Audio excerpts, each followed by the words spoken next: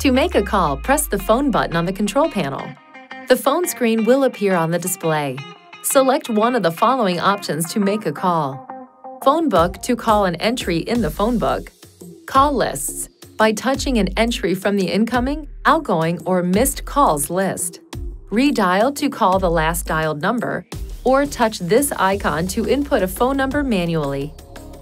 Duplicate entries may be in your phone book, or two numbers for the same entry may be in your phone book. To choose the name or the number you wish to call, press the button on the control panel. Select the phone book key. Choose the desired entry from the displayed list. If more than one name or number appears, choose the one you wish to call. Touch the number to initiate dialing. To dial an entry in the phone book using voice commands, push the talk switch on the steering wheel.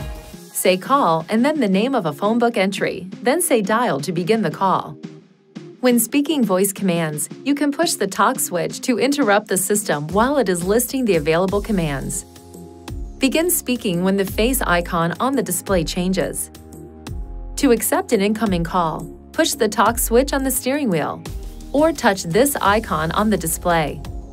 To reject an incoming call, press the phone end button on the steering wheel or touch this icon on the display. While a call is in progress, you can touch the handset key to switch the phone call to the handset for privacy, or touch the mute mic key to mute or unmute the microphone. To end a call, touch the phone icon on the display or press the phone end button on the steering wheel.